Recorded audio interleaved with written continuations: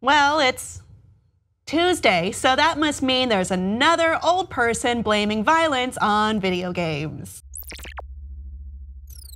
This time it comes from um, a video game in which it's called Thunderbird Strike. It's a game in which players control uh, a thunderbird, which is an indigenous mm-hmm. um, mythical creature, and it destroys pipelines while restoring the natural environment. Yes, this is what it looks like. It's actually it's adorable. Um, it is really cute. Yeah. It's made by an it's made by an independent game creator. It was like, made by Elizabeth La Ponce. That's a I, I don't know if it's pronounced French La Ponce, who is an Anishinaabe uh, indigenous person, but also a game developer and an assistant professor at Michigan State University. And she created this and won actually the award for Best Digital Media at the imagineNATIVE Festival in Toronto last weekend. Well, some people, particularly those in um, the Energy Equipment and Infrastructure Alliance, which is a lobby, a, an energy lobby, specifically an oil lobby, had a problem with this. Uh, Toby Mack, the president of that group, said, A video game that depicts that kind of activity has the potential to encourage or plant the idea that that's something somebody should do. That's our concern. I love how you changed your voice for oh, this. did I? Yes, oh. you did. I mean, this is so dumb. This reminds me of people being like, "Oh, Grand Theft Auto, your teenager's going to go steal a cop car." Like, no, they're not. You know, this is this is social commentary in a video game. She's using her art to make a social commentary about something that is important to her.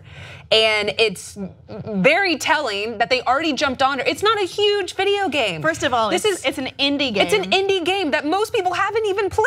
Yeah. That nobody even knows about. And this man didn't even play. He didn't even play it. No, that's true. Uh, another person who had a problem with it was a senator from Michigan who had this to say. Uh, David Osmek said, when the legacy amendment to our Constitution was approved, no voter could have imagined that our taxpayer dollars would be used to fund video games that blow up pipelines. Minnesota taxpayers expect their money to be invested in Minnesota not in funding an eco-terrorist version of Angry Birds. Osmek also admitted that he's never played the game, but merely looked at pictures and also a couple reviews, but he still decided it's this dangerous thing that is starting eco-terrorism and shouldn't be allowed by Minnesota. That what bothers me is this was funded um, by the Arrowhead Regional Arts Council Artist Fellowship, and she received that grant to do this. She did this by submitting everything she was mm -hmm. going to put in the game, and she was granted this. She didn't steal the money, and you can't just pull money from uh, grants just because you disagree with them. I, I did a story last week about someone saying, I'm tired of paying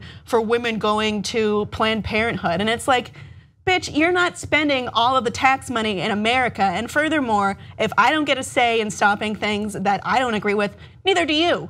So I don't like that attitude of, oh, I disagree with it, so it must be illegal, and we have to like pull all these this money that's already been granted out. Mm. This honestly looks so bad for them. It's like a David and Goliath situation where these huge oil lobbyists are trying to take this away from a very small independent game develop, uh, creator. I, I think it was Mack that said, yeah, that he hadn't played the game. He said instead he read reviews, saw screenshots of the game because that's the same thing, and looked at the game's website in order to come to this conclusion. And then he decided to like diminish her and say when she, I you know how I mentioned she was an assistant professor? When he wrote about her um, about her and creating the game he put professor in quotation marks as if to say God. oh is she really a professor? The fact that you disagree does not take away her accomplishments does not take away her grant funding. This is stupid. This is bullshit. Furthermore I can't I mention this every time. There have been so many studies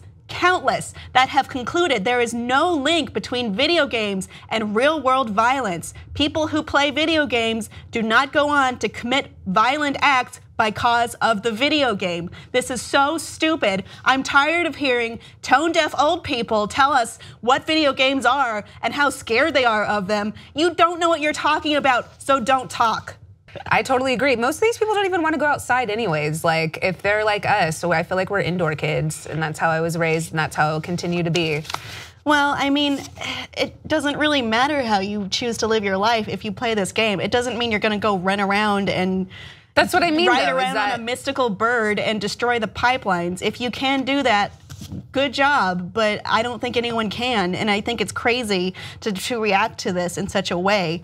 It is commentary. You don't agree with the commentary, that doesn't make it illegal or evil.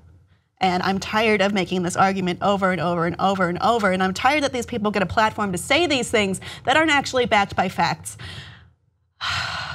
Audience! Does Thunderbird Strike somehow make you want to be an eco terrorist and ride around on a bird and destroy the pipeline and dismantle American values like these people seem to think? I'm so mad. Please let us know below if you're tired of this bullshit too, and please like and subscribe for more.